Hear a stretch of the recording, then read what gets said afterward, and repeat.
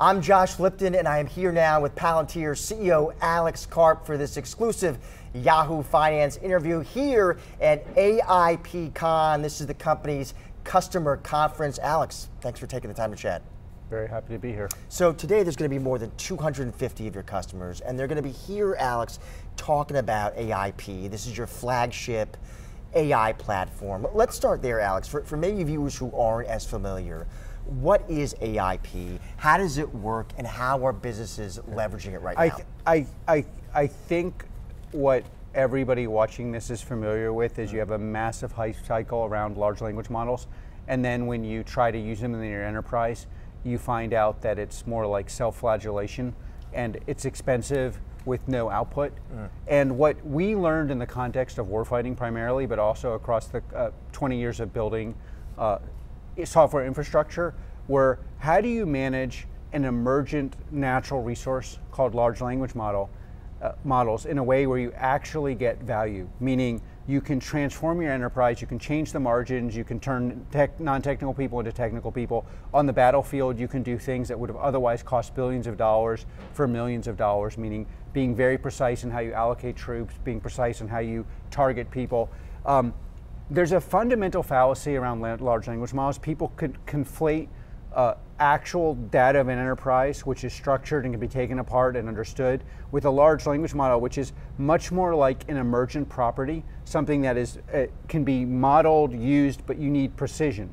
And all the value in the market is going to go to chips and what we call ontology. And we have this ontology, and the ontology will allow you to take a large language model and use it, refine it, and then impose it on your enterprise, in the logic of your enterprise, in the security model of your enterprise. And what does that mean for the 70, 70 people are here presenting, talking about why they're using it, how they're using it. You got to remember, we started uh, selling this product just over a year ago.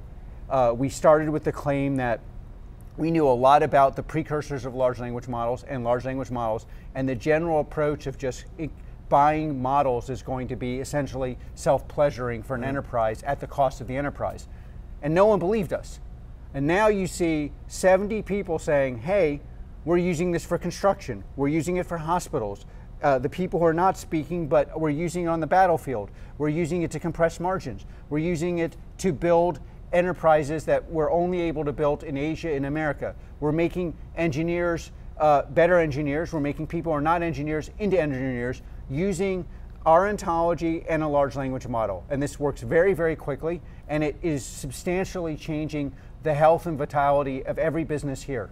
And for As opposed to the alternative, which is that you buy some large language model, you you party with it basically, and the next day you have a hangover. and and then and so like and again, for for people just looking at this, what does it mean for Palantir? It means we are sitting on the only thing that actually creates uh, uh, quantifiable transformational value in an enterprise. Yes, it is not understood well because everybody understands the problem incorrectly. Yes, it is going to transform America, and our clients are leaving the way. And, and by the way, it's like to actually show things that are not understood, you have to actually show them. The whole purpose of this conference is mm. I can tell you how an ontology works. It's actually quite simple. You have the logic of the business, you, including the security logic of the business, and you have something that approximates new knowledge in a new form called a large language model. And it allows you to take the value of the new form, the raw resource of a large language model, largely powered by chips, and put it into a precise organization in the logic of the business. I can tell you that or I can show you 70 businesses saying my business is stronger, healthier, and much better than any other business in my sector. And, and so, what is, I mean, bottom line for investors listening, Alex, how would you characterize what is commercial demand like right now for AIP? Uh, uh, uh, the way I would explain yeah. it to my most important investors, which are individual investors, there's two parts of the market that are creating value people will pay for chips and ontology. And you understand the chip side now and now you're going to understand ontology. And what does that mean for your business? It means you can actually use this raw resource and process it into something that actually works. And if you want to see exactly how, watch the people presenting. You're going to see people in construction using it to build buildings quicker, cheaper, more accurately. You're going to see people in the hospital industry saying, How could I possibly ever distribute my patients ethically, fairly, and commercially relevantly? How could I distribute resources across? How can I manage my, my company as not abstract units but as a portfolio? These are these things are happening within days. What I'm interested in, Alex, is because you, you can talk, a lot of CEOs will say, and they'll say on Yahoo Finance, they're interested in AI, but actually they're not willing to pull the trigger yet because they have these questions about privacy, security, uh, vendors. But, but you're Perfect. saying we're crushing it, we're closing uh, the IP I, What I would tell any of them is how are you doing it? Well, there's a technical answer, which uh, I gave you the precursor uh, of. But again, do you want to know how we're doing it, or do you want to enjoy it being done? Both, really. Great. Well, first you, but no, actually, first you want to see it works. Yeah. Like the, the, the, the central issue, I think, I mean, I, we have hundreds and hundreds of CEOs. And by the way, the thing about the 70 people here presenting is, you know, they're presenting to other people. I'm not paying them to present. Uh. The reason they're presenting is they're like, wow, I didn't really believe this could work, and now it's working really well. So the most important thing, by the way, for a normal user, someone who's going to pay is, does it work? Then the, the second question is how does it work? Does it scale? What is the commercial model? Mm. You really have to establish it works.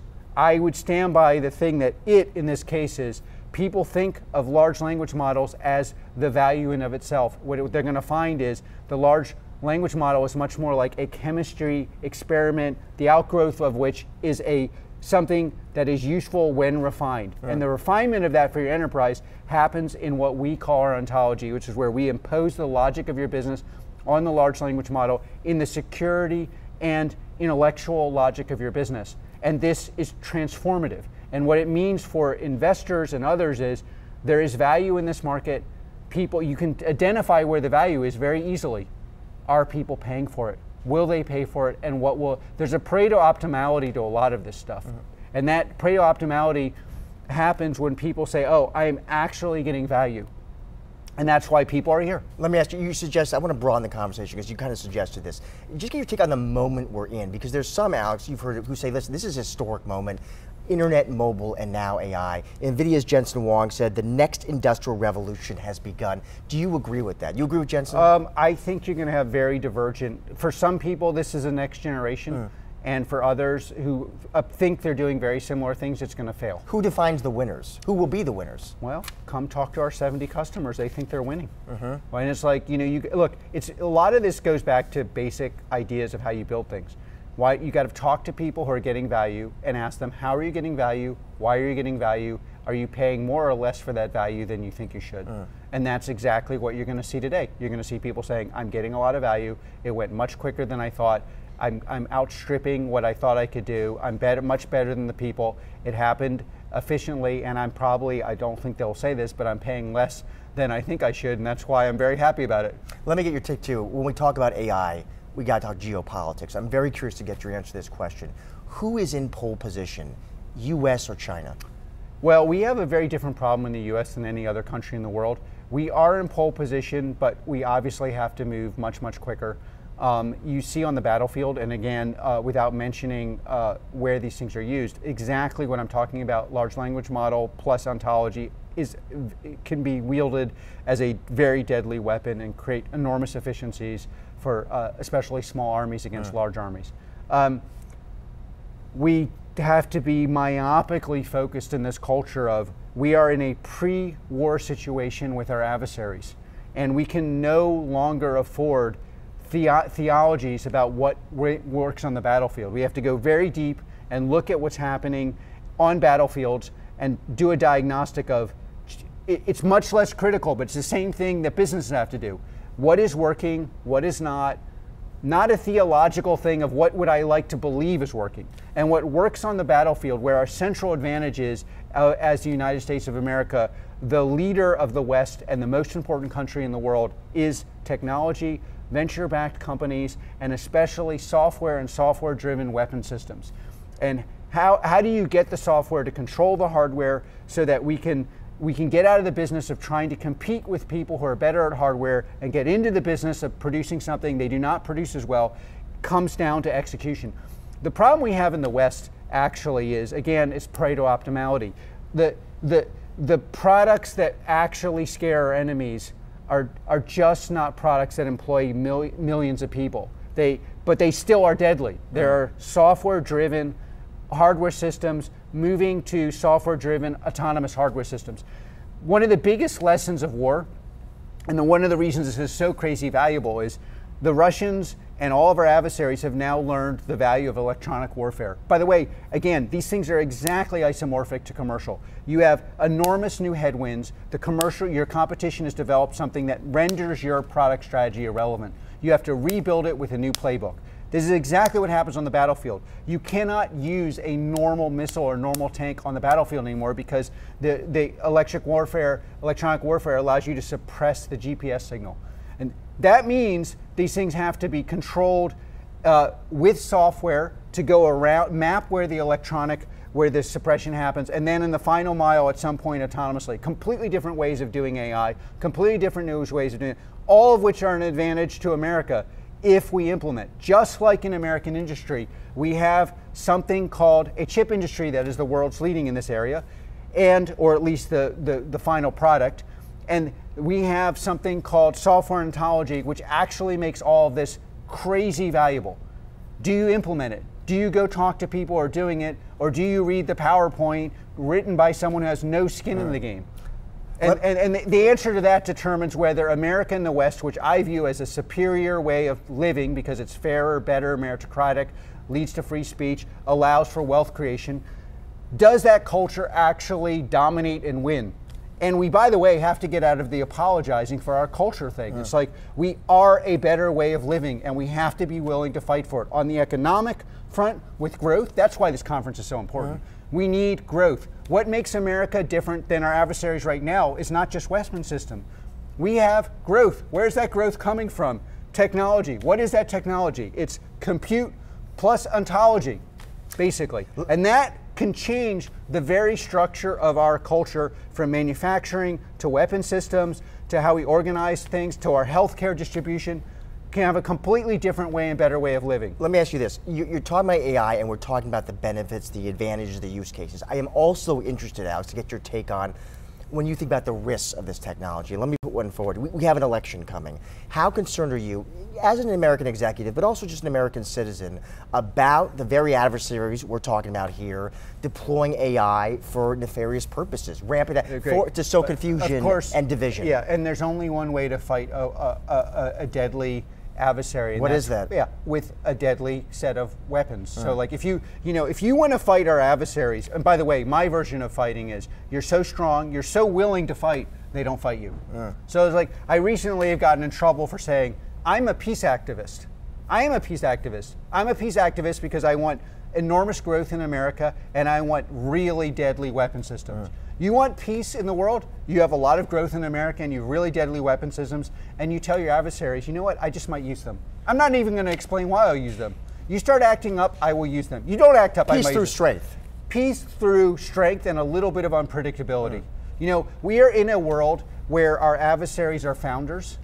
They have the founder playbook, which is I'm gonna I'm gonna be aggressive and win where I can. We have a playbook written probably at Harvard and Yale and Stanford institutions which are now symptomatic with not producing, producing structures where they don't see discrimination when it's in front of you, producing structures that and ideologies that are literally built for the decline of our country. We need to get out of the business of right. we're declining, we're apologizing, we're not going to use force. It, it, it, we need to, and, and, the peace activists are actually us. And the pe- people who claim to be peace activists are actually sowing destruction disorder, discrimination. It's an exact inversion of what they claim to be. And we and we but those of us on our side who are pro-growth, pro-America, pro our economy transfers, and pro having the best systems in the world, we need to organize, build things, and then we also need to have exact understanding of what works, what doesn't, and implement it very quickly. I, I mentioned the election. I want to stick with that real quickly. Does it matter to Palantir who wins, Biden or Trump? Does that impact any potential business you're going to have with the U.S. government? Look, we've been in we've dealt we've been in business for 20 years. Mm. I have not seen an impact on our business, depending who's president. Not, I am interested. Listen, we talk about these conflicts around the world right now, running hot: Russia, Ukraine, Israel, Hamas. Has that changed how the DoD, DoD thinks about spending, Alex, and what they want to spend on? Uh, the DoD is changing rapidly how it spends. How so? Uh, well, there's much more of a focus. You saw that we won this big Maven contract. Um, these things are a natural growth, uh, outgrowth of we need to fight better, we need to fight quicker, we need to fight on the terms where America has superiority.